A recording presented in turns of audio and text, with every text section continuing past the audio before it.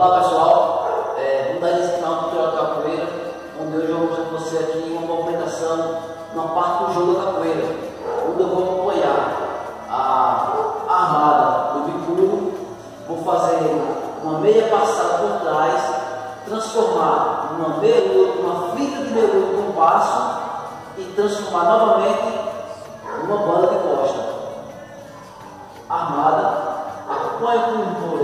Faço uma meia passada por trás, transformo numa fita de meia com passo e transformo novamente numa banda. Vamos lá? Armada. Fica passadinha, tiver. Quando eu fizer meu compadre, esquivou. A perna do compasso, eu curto espaço e banda.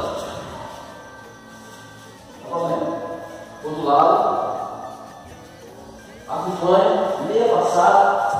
Ele foi pé lá, fica meia lua, é um eu curto o espaço, a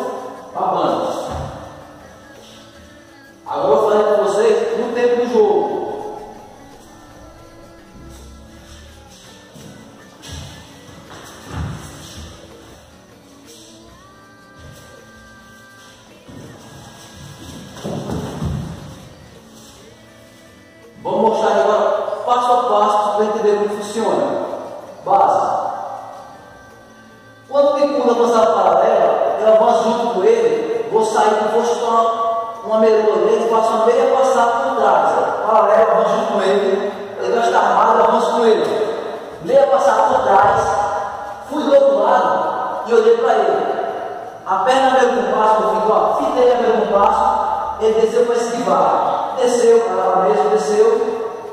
A perna meu compasso, já curto o espaço na costa dele, avança outra, banda. Essa banda funciona como uma alavanca. Põe a base. Só base. A perna está por fora e a outra está por dentro. Tem que ter alavanca. Se eu for só a perna aqui, ele tira a perna, tira a perna, ó. Ele levanta a perna